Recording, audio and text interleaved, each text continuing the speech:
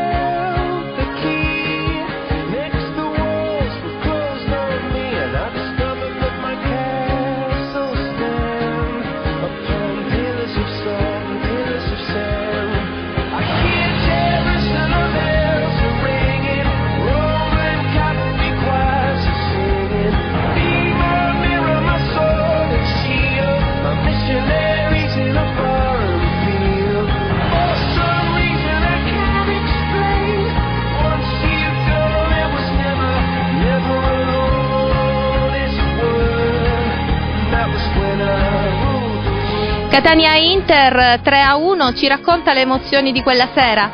Ma io di presenza non l'ho vista l'emozione, però l'ho vista in televisione, fortissimamente fortissima, perché sono state tutte una capacità estrema.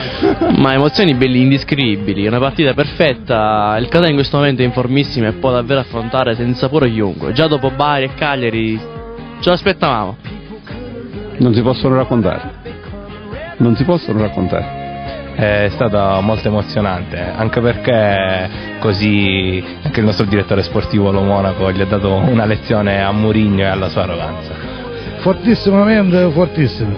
Ma le emozioni soprattutto sono state del Massimino che era pieno e, e sono tornate tante persone, anche se c'erano molti tifosi dell'Inter, però si sono ricreduti e sono diventati anche loro tifosi del Catania quando ha segnato l'Inter quasi non ci credevo più, però poi quando ha pareggiato cominciavo a crederci. La sera più bella per noi catanesi, per, per la città, la sera più bella che è stata, non, è indescrivibile l'emozione. Fortissimamente fortissima. Emozione indescrivibile direi, una serata bellissima con tutto che pioveva, noi l'acqua non la sentivamo, eravamo inzuppati però un'emozione bella quei tre gol, una partita fantastica, con tutto che siamo andati sotto ce l'abbiamo fatta recuperare a fare questi tre gol. Sono divertito tantissimo, non, non, non, non sentivo queste emozioni da, da tanto tempo. Una, una, grande partita, un grande Catania, un grande Mascara, un grande Martinez, è andato tutto bene. Sono impazzito proprio, non ho capito più niente. Fortissimamente fortissimo. Io sono un abbonato, ho visto tantissime partite, però una come questa la posso paragonare soltanto a Catania Albino Leffe o Chievo Catania però l'ho visto in televisione. Una partita storica penso, che per tutti i catanesi è stata una grande soddisfazione. L'ho sentita alla radio, eh, la risultante è stata incredibile. Fortissimamente fortissima. Il Catania ha fatto una partita perfetta